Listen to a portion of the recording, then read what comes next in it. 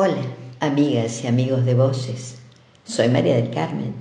Hoy les traigo un poema muy cortito, pero muy significativo, escrito por Carlos Castro Saavedra, poeta colombiano que nació en 1924 y partió en 1989.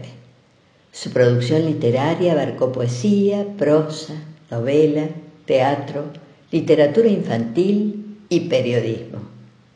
En el Día del Amigo les dedico amistad. Amistad es lo mismo que una mano que en otra mano apoya su fatiga y siente que el cansancio se mitiga y el camino se vuelve más humano. El amigo sincero es el hermano claro y elemental como la espiga, como el pan, como el sol, como la hormiga que confunde la miel con el verano grande riqueza, dulce compañía, es la del ser que llega con el día y aclara nuestras noches interiores, fuente de convivencia, de ternura, es la amistad que crece y se madura en medio de alegrías y dolores. Hasta el próximo encuentro.